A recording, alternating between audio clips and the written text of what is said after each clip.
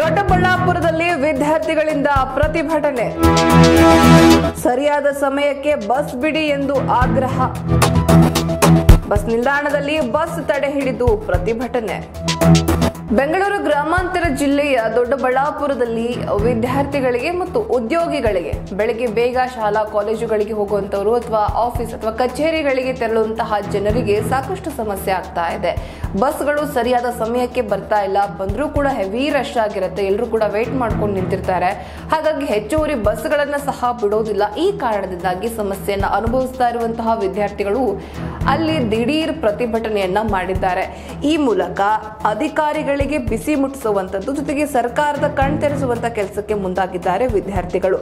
ಬೆಂಗಳೂರು ಗ್ರಾಮಾಂತರ ಜಿಲ್ಲೆಯ ದೊಡ್ಡಬಳ್ಳಾಪುರ ನಗರದಿಂದ ಮಹಾನಗರ ಬೆಂಗಳೂರಿಗೆ ಬೆಳ್ಳಂಬೆಳಿಗ್ಗೆ ಸಕಾಲಕ್ಕೆ ಸರ್ಕಾರಿ ಬಸ್ಗಳಿಲ್ಲದೆ ವಿದ್ಯಾರ್ಥಿಗಳು ಹಾಗೂ ಉದ್ಯೋಗಿಗಳು ಪ್ರತಿನಿತ್ಯ ಪರದಾಡುವಂತಾಗಿದೆ.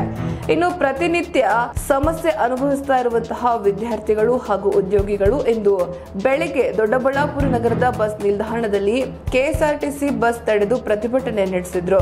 ಇನ್ನು ಮಾಸಿಕ ಹಾಗೂ ವಾರ್ಷಿಕ ಪಾಸ್ಗಳನ್ನ ನಾವು ಪಡೆದುಕೊಂಡಿದ್ದೇವೆ. ಆದರೆ ಕೆಲ ದಿನಗಳಿಂದ ನಮಗೆ ಬೆಳಿಗ್ಗೆ ಸೂಕ್ತ ಸಮಯಕ್ಕೆ ಬಸ್ಸುಗಳೇ ಬರ್ತಾ ಇಲ್ಲ. ಹಲವಾರು ಬಾರಿ ಸಂಬಂಧಪಟ್ಟ ಅಧಿಕಾರಿಗಳಿಗೆ, ಅಂದ್ರೆ ಕೆಎಸ್ಆರ್ಟಿಸಿ ಹಿರಿಯ ಅಧಿಕಾರಿಗಳಿಗೆ ದೂರನ್ನ ಸಲ್ಲಿಸಿದ್ರೂ ಕೂಡ ಸಮಸ್ಯೆ ಬಗೆಹರಿಸಿಲ್ಲ. ಹೆಚ್ಚುವರಿ ಬಸ್ಗಳನ್ನು ಬಿಡ್ತಾ ಇಲ್ಲ. ಇದರಿಂದಾಗಿ ಸರಿಯಾದ ಸಮಯಕ್ಕೆ ಕಾಲೇಜುಗಳಿಗೆ ಕೆಲಸಕ್ಕೆ ಸಹ ಹಾಜರಾಗಲು ಆಗ್ತಾ ಇಲ್ಲ ಅಂತ ಆಕ್ರೋಶ ವ್ಯಕ್ತಪಡಿಸಿದ್ದಾರೆ. ವಿಷಯ ತಿಳಿದು ಸ್ಥಳಕ್ಕೆ ಆಗಮಿಸಿದ ದೊಡ್ಡಬಳ್ಳಾಪುರ ನಗರ ಪೊಲೀಸರು ಪ್ರತಿಭಟನಾ ನಿರತ ವಿದ್ಯಾರ್ಥಿಗಳನ್ನ ಮತ್ತು ಉದ್ಯೋಗಿಗಳನ್ನ ಮನವೊಲಿಸುವ ಕೆಲಸ ಮಾಡಿದ್ರು. ಇದಾದ ನಂತರ ಮುಂದೆ ಕ್ರಮ ಕೈಗೊಳ್ತಾರೆ ಅಧಿಕಾರಿಗಳು ಅಂತ ಭರವಸೆಯನ್ನ ಸಹ ನೀಡಿದ್ದಾರೆ.